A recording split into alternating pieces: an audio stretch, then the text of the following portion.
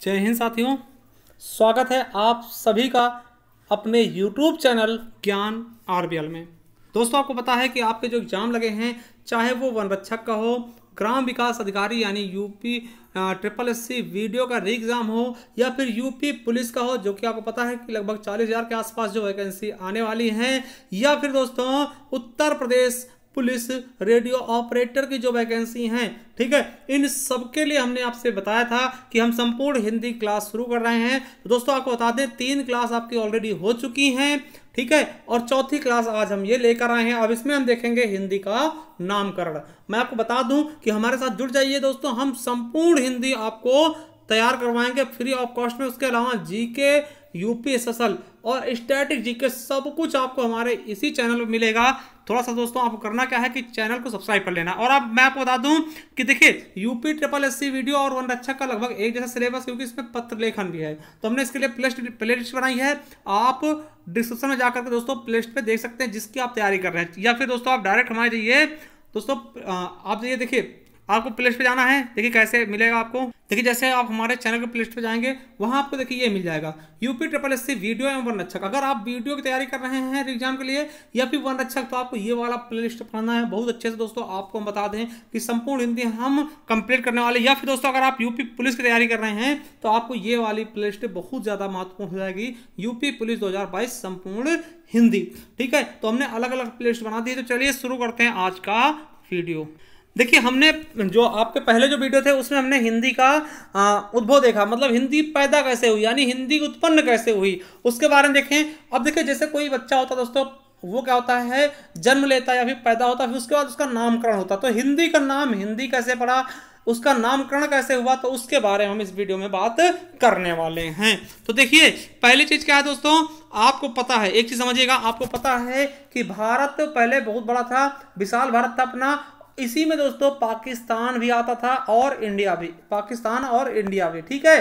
आपको पता है कि भारत, पूरा भारत में रखे दोस्तों पाकिस्तान का भी हिस्सा भारत में आता था और आपको बता दें कि पाकिस्तान और भारत के बीचों बीच से एक नदी बहती दोस्तों सिंधु नदी, ठीक है? सिंधु नदी पड़ती है और मैं आपको बता दूँ, यहाँ पर थे दोस्तों ईरानी लोग। ईरानी, आप जानते हो, ईरान के लोग, ये दोस्तों क्या करने आते थे? हमारे यहाँ व्यापार करने आते थे। मगर दोस्तों, उस समय भारत का नाम कुछ था नहीं, ठीक है? बहुत पुरानी बात है। उस समय भारत का नाम कुछ था नहीं। तो ये लोग, देखिए, हमारे भारत के बीचों बीच से सिंधु नदी गुजरती थी। इसीलिए इसको लोग क्या बोलते थे? सिंधु प्रांत कहते थे। क्या बोलते थे? सिंधु प्रांत बोलते थे। उस समय दोस्तों, सिंधु नदी कारण दोस्तों, भारत को लोग सिंधु प्रांत के नाम से पुकारते थे। मगर दोस्तों, मैं आपको बता दूँ, जो ये ईरानी लोग थे, वो लोग सा को क्या बोलते थे? हा कहते थे। सा को उनकी भाषा में हा कहते थे और धा को उनकी भाषा में दा कहा जाता था। जैसे आपको पता है कि आपको खड़ी बोली में अड़ा को लोग ना कहते हैं, ठीक, उसी प्रकार दोस्तों, ईरानी लोग क्या सा को हा बोलते हैं और धा को क्या बोलते हैं? दा बोलते हैं। तो इस प्रकार से दोस्तों, सिंधु को वो लोग हिंदू प्रदेश कहते थे। क्या बोलते थे? जैसे सब लोग सिंधु प्रदेश कहते हैं, उसी प्रकार से वो लोग हिंदू प्रदेश कहते थे। अब देखिए उन्होंने सिंधु को क्या कह दिया? हिंदू कह दिया। अब देखिए, हिंदू को कहते कहते धीरे धीरे उसमें से दोस्तों, ऊ की मात्रा हट गई तो हिंद बन गया, ठीक है? और फिर धीरे धीरे चलते हुए दोस्तों, उसी हिंद में प्रत्यय ई लगा दिया गया, वहीं से दोस्तों हिंदी शब्द बन गया। मगर दोस्तों, याद रखेंगे, जो हिंदी शब्द बना है, ये किसी भाषा के लिए प्रयोग नहीं हुआ, एक प्रदेश के लिए, यानी अपने भारत के लिए हिंदी शब्द का प्रयोग होने लगा। ठीक है? एक बार दोबारा बता दें कि कैसे हिंदी नामकरण पड़ा है। दोस्तों, सिंधु आपके, अपने भारत से दोस्तों सिंधु नदी बहती थी, इसीलिए इसको सिंधु प्रदेश कहते थे और ईरानी लोग साको हा और धा को दा बोलते थे, इसलिए इसको हिंदू कहने लगे। हिंदू से धीरे धीरे दोस्तों हिंदी कहने लगे, हिंद कहने लगे और हिंद में दोस्तों प्रत्यय ई जोड़ दिया गया, इसीलिए हिंदी शब्द बन गया, ठीक है? तो चलिए इसके बारे में हम थोड़ा सा लिखित रूप में देखते हैं। मौखिक रूप से हमने आपको समझा दिया। आप समझ भी होंगे कि हिंदी कैसे निकला, सिंधु नदी का कारण हिंदू पड़ा, हिंद से ऊ की मात्रा हटा दी, हिंद हो गया हिंद में फिर दोस्तों प्रत्यय ई जोड़ दे, यानी वहाँ से हिंदी शब्द बन गया। चलिए अब आपको बताने की कोशिश करते हैं कि देखिए, समझिएगा, हिंदी शब्द कैसे बना? तो आपको बताते हिंदी शब्द की उत्पत्ति, ठीक है? भारत के उत्तर पश्चिम में प्रवाहमान सिंधु नदी से संबंधित, कौन सी नदी? सिंधु नदी। आपको पता होगा, सिंधु जल समझौता। देखिए, अगर आपको पता है सिंधु जल समझौता के बारे में तो आप हमारे कमेंट बॉक्स में बताइएगा कि सिंधु जल समझौता किन देशों के बीच में है और कब ये हुआ था। ठीक है? चलिए, अब दोस्तों, आपको पता है कि हिंदी शब्द की उत्पत्ति भारत के उत्तर उत्तर पश्चिम में प्रवाहमान, यानी प्रवाहमान मतलब बहने वाली सिंधु नदी से संबंधित है। ठीक है? और आपको बता दें कि विदेशी खास कर दोस्तों, विदेशी यात्री खास करके कौन से? ईरानी, जिनको हम फारसी बोलते हैं दोस्तों। ठीक है? तो ईरानी लोग दोस्तों क्या करते थे? सिंधु नदी के कारण ही भारत को सिंधु का देश कहते थे। ठीक है? क्योंकि भारत में सिंधु नदी बहती थी, इसीलिए इसको सिंधु का देश कहते थे। मगर दोस्तों, याद रखेंगे, जो ईरानी लोग हैं, वो सा को क्या बोलते हैं? सा और हा को दोस्तों, धा और धा बोलते हैं, ठीक? धा और धा बोलते सा को धा बोलते हैं, ठीक है? सा को हा बोलते ठीक? सा को हा बोलते हैं और धा को दा बोलते थे। पहलवी भाषा प्रवृत्ति के अनुसार कहते थे, जिससे दोस्तों, सिंधु को हिंदू कहा जाने लगा। अब मैं बता दूँ, सिंधु को हिंदू कहा जाने लगा, मगर दोस्तों, उसके बाद क्या होता है कि हिंदू में से हिंदी बन जाता, क्या बोल जाता हिंदू से क्या बनता, हिंदी बन जा, हिंद बन जाता सॉरी हिंदी नहीं, हिंद बनता, यानी ऊ की मात्रा गायब कर दी जाती है। ठीक है? उसके बाद क्या होता है? हिंद में दोस्तों मैं आपको बता दूँ, फारसी भाषा के संबंध कारक का प्रत्यय ई जोड़ा था मतलब प्रत्यय किसका है? फारसी भाषा का। तो हिंदी बन जाता, वहीं से दोस्तों हिंद में अगर प्रत्यय ई जोड़ दिया तो हिंदी बन गया। तो यहीं से हिंदी का नामकरण हो जाता है मतलब इस प्रकार से दोस्तों हिंदी शब्द का नामकरण हुआ। मैं आपको बता दूँ कि हिंद शब्द में इक जोड़ने से हिंदी बन जाता है। देखिए, हिंदी बन चुका है। अगर हिंद शब्द में हम ईक प्रत्यय जोड़ते हिंदी बन जाता है, जिसका अर्थ क्या होता है? हिंद का। यानी कि हिंदी का अर्थ क्या होगा? तथा इस हिंदी से यूनानी के इंडिका शब्द का निर्माण हुआ है। देखिए, इसी जो हिंदी है ना, इसी से यूनानी में इंडिका शब्द होता है और इंडिका को दोस्तों अंग्रेज़ी में ही इंडिया कहते हैं और इसी इंडिया से ही भारत नाम का, भारत देश का नाम इंडिया पड़ गया। ठीक है? चलिए। अब देखिए, हिंदी का नामकरण हो गया।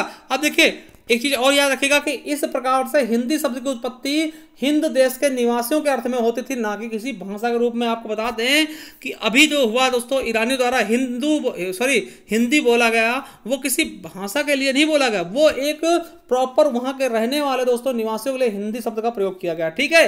अब देखिए, आगे चलकर यह शब्द हिंद की भाषा के अर्थ में प्रयुक्त होने लगी। मतलब हिंद की भाषा के अर्थ में प्रयोग होने लगी दोस्तों, इसीलिए वो बन गई हिंदी।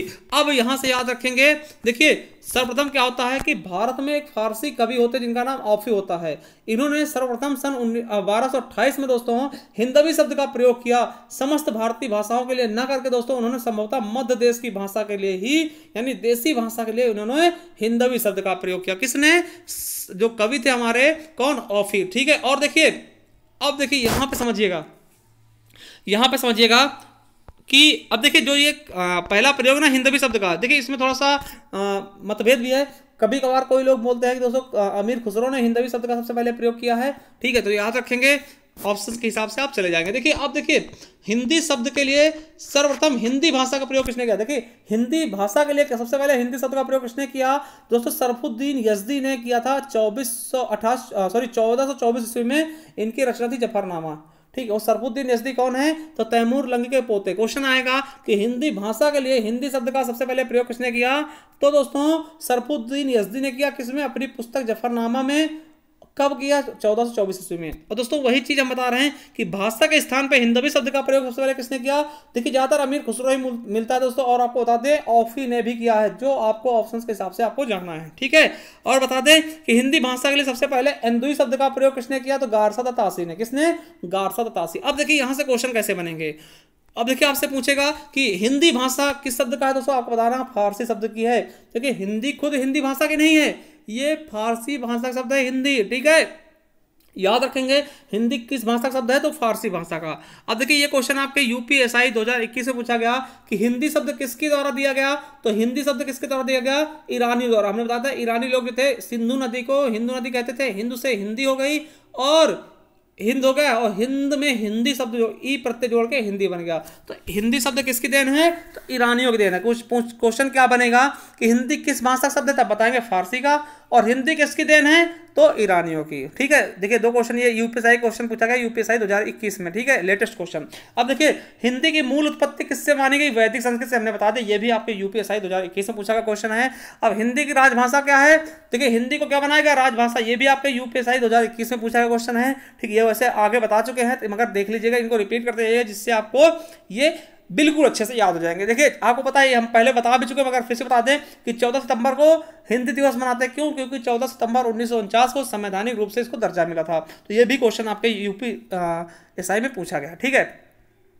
देखिए 10 जनवरी को क्या होता है? 10 जनवरी 1975 को प्रथम विश्व हिंदी सम्मेलन होता है कहाँ पे? नागपुर में। इसीलिए दोस्तों, प्रतिवर्ष, दोस्तों, ये भी पूछा गया, प्रथम विश्व हिंदी सम्मेलन कहाँ हुआ? नागपुर में। इसीलिए प्रतिवर्ष दस जनवरी को मनाते हैं विश्व हिंदी दिवस। देखिए, दस जनवरी को विश्व हिंदी दिवस, चौदह सितंबर को हिंदी दिवस। दोनों दोनों याद रखेंगे और आपके यूपीएसआई में पूछेगा क्वेश्चन। अब देखिए, कब से शुरू हुआ? देखिए, क्वेश्चन पूछेगा कि विश्व हिंदी दिवस कब से मनाते दोस्तों, याद रखेंगे, पूर्व प्रधानमंत्री डॉक्टर मनमोहन सिंह ने 10 जनवरी 2006 को प्रतिवर्ष, दोस्तों 10 जनवरी 2006 से ही मनमोहन सिंह द्वारा, दोस्तों, ये घोषणा की गई कि हम 10 जनवरी को प्रतिवर्ष हिंदी दिवस मनाएँगे। चलिए, अब दोस्तों बताते हैं कि हिंदी में पढ़ती खड़ी बोली, और खड़ी बोली जनक किसको मानते हैं? अमीर खुसरो को ये क्वेश्चन भी आपका पूछा गया यूपीएसआई में।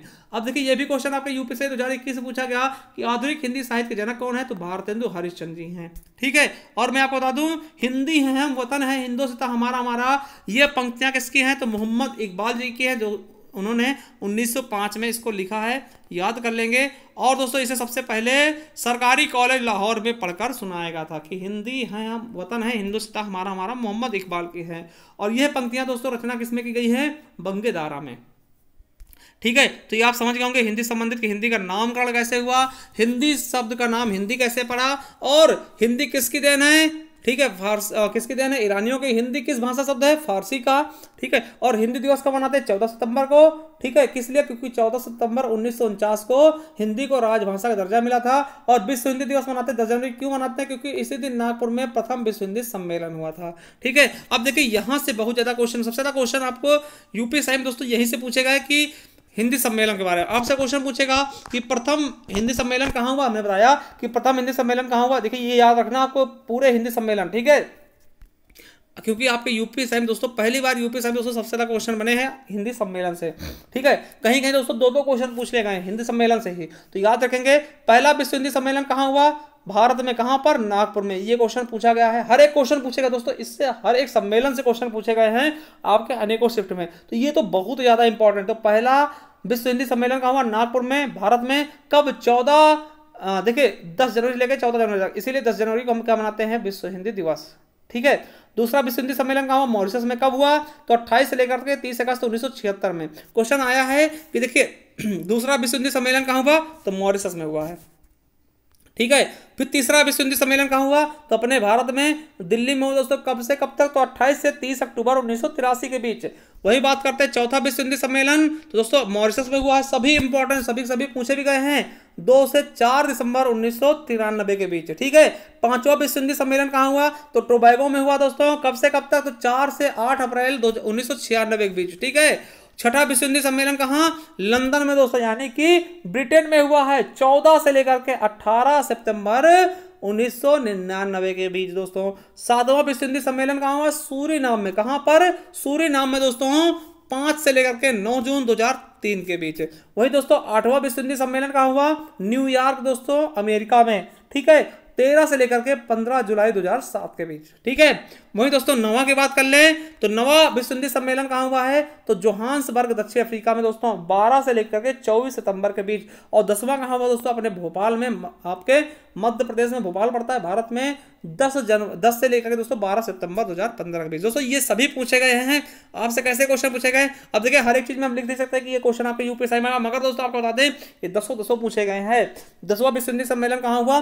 भोपाल में हुआ। आपसे ऐसे पूछा गया क्वेश्चन कि दूसरा विश्व हिंदी सम्मेलन कहाँ हुआ है? तो दोस्तों मॉरिशस में। तो ये आपको बिल्कुल अच्छे से याद रखना है, बेहतरीन ढंग से। और दोस्तों, आपको बता दें कि अगर आप हमारी ई बुक परचेज करना चाहते हैं, दोस्तों परचेज कर सकते हैं। आपको ई बुक मिल जाएगी पीडीएफ के रूप में, दोस्तों। ये हमारा नंबर है, इस पर आप गूगल पे फ़ोन पे पेटीएम या करके, दोस्तों, प्राप्त कर सकते हैं। और दोस्तों, हमारे आप टेलीग्राम चैनल जुड़ जाइए, जिसका नाम है Gyan RBL education sorry Gyan RBL officer के नाम से आपको हमारा टेलीग्राम चैनल मिल जाएगा। और दोस्तों आपसे हमने कुछ क्वेश्चन किया है, उसका आप आंसर बताइएगा। कि दोस्तों, सिंधु जल समझौता किसके किसके बीच हुआ है? और आपको क्लास कैसी लगी दोस्तों? कमेंट बॉक्स में कमेंट करके अवश्य जाइएगा। कैसी लगी? अच्छी लगी? बुरी लगी? कुछ भी लगी दोस्तों कमेंट ज़रूर कीजिएगा कीजिएगा, ठीक है? चलिए थैंक यू मिलते हैं किसी नेक्स्ट वीडियो में। तब के लिए Jai Hind, Jai Bharat, Vande Mataram. Thank you love you all